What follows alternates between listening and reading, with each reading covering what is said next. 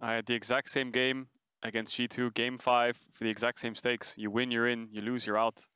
And 12 months ago, it was a heartbreak. You know, it was really, really emotional, really hard times. But I, I hope they can do it this time around. It's crazy that a year later, I'm still involved in it. I'm casting the game that decides if they're gonna get through. Dude, I'm nervous for them. Yeah. So Excel Esports failed to make the playoffs again. They couldn't quite do it. Almost a year ago, the UK-based org found themselves one win away from playoffs with their final game against G2. They lost. Last weekend, history threatened to repeat itself, but this time, empowered by BTXL Academy players Markoon and Advienne, XL faced G2 once again. They'd already taken down the former MSI champions in their Academy Duo's LEC debut, but this time the Samurai were out for revenge.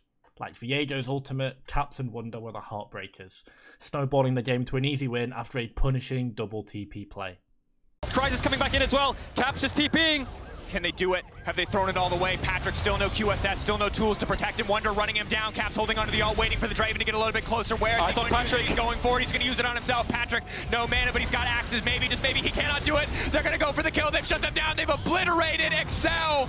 It's a massive throw. Excel saw it all right in front of them, and they threw it all away. G2 with a beautiful punish. To be honest, I don't think any fan of this team should be disappointed. Yes, it may look like they have not progressed, finishing seventh two summer splits in a row, but that obviously is simply untrue. What's different this time is the rise in performance since the injection of their new jungler and support. After replacing Czekolad, Nukeduck put in some solid performances, particularly on the LeBlanc in the mid lane, to pair nicely with the Volibear of Markoon. Long-time XL ADC Patrik showed up in some big ways too on the famous Draven of his. Every role outside of the top lane, at least in my opinion, is stable. If they wanted to upgrade, then the European Regional Leagues and EU Masters is an entire ocean of talent to dip into. Some may exist even in the LEC from departing orgs. Goodbye, Schalke, we will miss you. Or benched players elsewhere. Speaking of EU Masters, keep your eyes on Europe's Tier 2 scene closely as playoffs will begin. XL fans, where does this team go from here? Let us know in the comments below. Whilst you're at it, feel free to leave a like on the video and subscribe. We cover everything on this channel here at Esports News UK. League, Valorant, Sim Racing and more. If it's on this little island, we've got you covered. Right, back on with the video. So what's next? Well, head coach Youngbuck had this to say on Twitter after the match on Sunday. Since coming in from Fnatic, there have been high expectations on him to deliver results. This was supposed to be the six-star general to guide XL to the first playoffs since becoming a franchise in the LEC. How long is the tether that Youngbuck has?